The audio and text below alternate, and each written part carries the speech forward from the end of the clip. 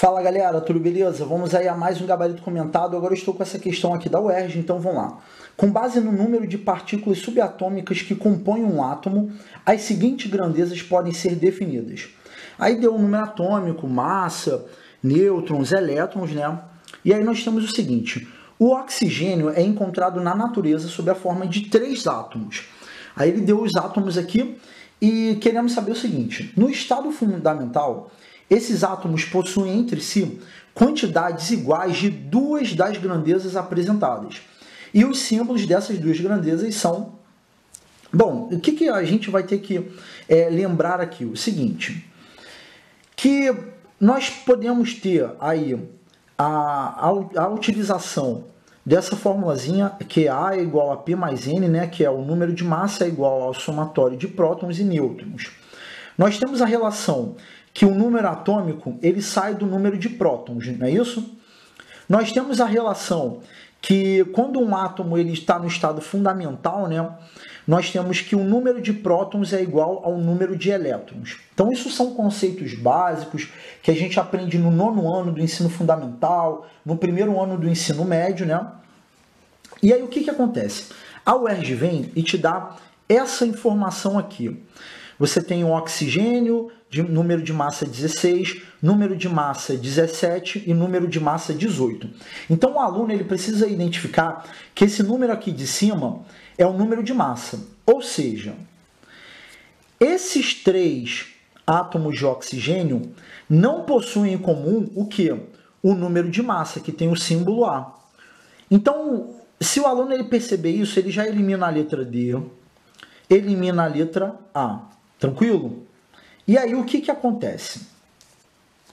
Essa questão ela não nos dá o número atômico do oxigênio. Porém, se todos eles correspondem ao elemento químico oxigênio, então a gente entende que o número atômico é o mesmo. Então, isso é um conhecimento básico que muito provavelmente você que está assistindo esse gabarito comentado já ouviu falar.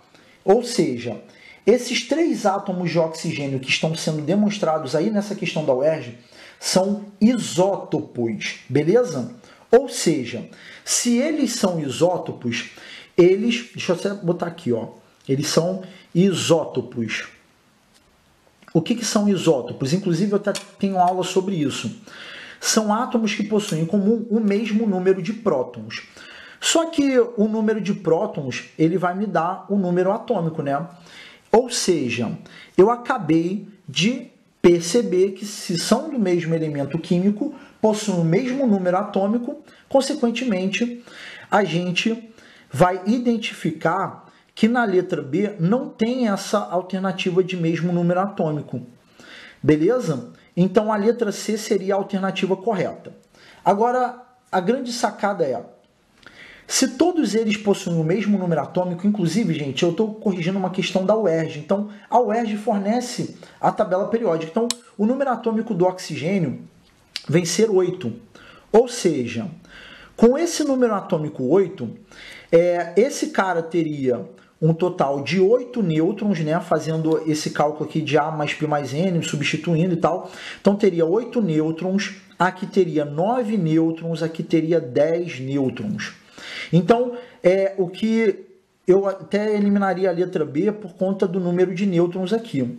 Muito embora, como eles estão no estado fundamental, então a gente tem número de prótons igual ao número de elétrons, né? E aí, é, afirmando aí que a letra C seria a alternativa correta. Então, todos os três possuem o mesmo número atômico, né? Que vem do número de prótons, e todos eles possuem o mesmo número de elétrons pelo fato de estarem no estado fundamental. Tranquilo? Bom, então eu não sei se você que está assistindo esse gabarito achou essa questão fácil, porque essa questão ela foi bem fácil e tal. No ano em que teve essa questão, a maior parte dos alunos conseguiram acertar. E de coração eu espero que você possa ter entendido aí o que eu fiz nessa questão, beleza? Se por acaso eu conseguir lhe ajudar, não deixe de curtir o vídeo, se inscrever no canal para ficar por dentro de todas as atualizações. E se você puder, compartilhe aí para que mais pessoas possam ser beneficiadas com esse esforço. Um abraço, galera, e até o próximo vídeo.